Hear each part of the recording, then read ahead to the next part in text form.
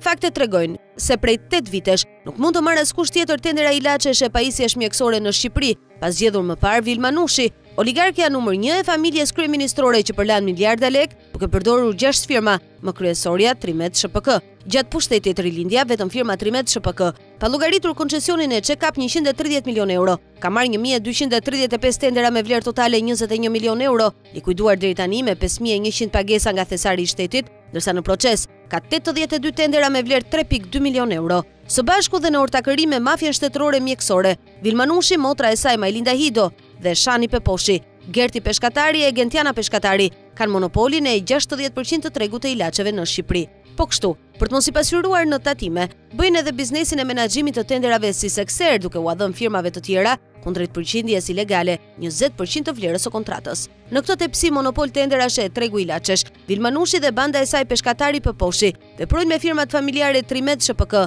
Marketing and Distribution, 3P Life Logistic, Interlogistik SHPK, Rio Pharma SHPK dhe Pharma Vita SHPK, nën maskën e import-eksportit dhe tregut të lirë të ilaçeve. Firma Trimed SHPK, duke përdorur ortakët Gert Peshkatari e Çim Karamani, bën kontrabandën e ilaçit vrasës Rinostop, të cilin e importon dhe eksporton menjëherë në Kosovë, nëpërmjet filialit farmaceutik Pharma Vita, me lejen e bablokut dhe pa asnjë kontroll në kufi. Rinostopi zhdoganohet e magazinohet tranzit në Shqipëri dhe dërgohet në Kosovë, ku blihet nga grupet e impianteve të përpunimit të drogës që e përdorin si hollues kimik. Produkti Rinostop importohet nga kompania Trimed SHPK e cila ka monopolin doganor të futjes në Shqipëri me mesatarisht 610.000 kuti në vit, ndërkohë që në vendin tonë konsumohen vetëm 15.000 kuti në vit. Prej tre vitesh, shitja bëhet pa recetë mjeku, lejuar me urdhër numër 501, datë 3 korrik 2018 të ministres Ogerta Manastirliu, që sipas specialistëve të agjencisë së barnave, është urdhër për të favorizuar firmën Trimed, që të bëjë biznes me përpunuesit e drogës në Kosovë e rajon. Ekspertët thonë se jo vetëm që Rinostop nuk duhet shitur pa recetë mjeku,